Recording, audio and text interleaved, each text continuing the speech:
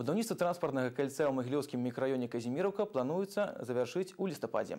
Яно стане часткай капітальнага рамонту мінскай шашы на ўчастку ад вуліцы Беланецкага Берулі да вёскі Прысна. Дарэчы, поўную мадэрнізацыю мінскай шашы плануецца завяршыць у 2018 годзе. Нават у вялікі дождж капітальны рамонт мінскай шашы не спыняецца. Дарожныя будаўнікі працуюць нават па суботах. Работы вядуць без закрыцця руку па асноўнай дарозе.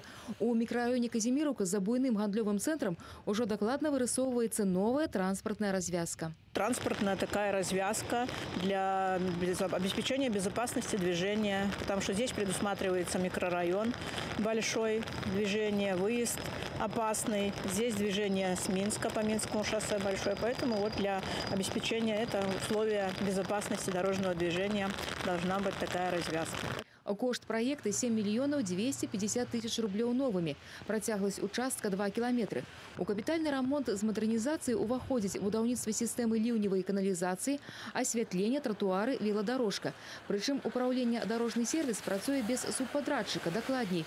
Усё робить уласными силами, а значит, работы идут без спыненняў. Именно эту очередь начали мы практически 22 э, сентября а закончим в феврале 2018 года. Если будет возможности по финансированию раньше, закончим раньше. Это же не только развязка, это дорога до Присна, до знака Могилева практически. Поэтому долго. А вось само транспортное кольцо на мінскай шашы у казіміраўцы плануюць завяршыць у лістападзе. А праўда, пакуль без верхняга слоя асфальтабетона. Яго укладка будзе весціся напрыканцы ўсіх будаўнічых работ шашы. Татьяна Сергейчик, Виталь Алексеенко. Новин регион.